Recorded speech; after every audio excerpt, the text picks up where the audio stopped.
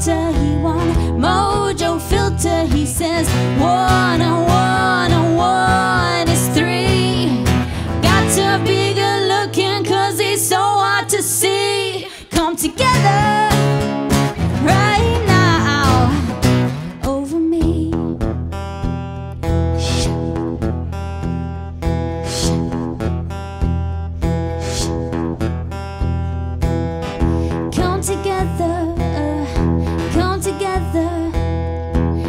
together, come together, come together, come together, come together.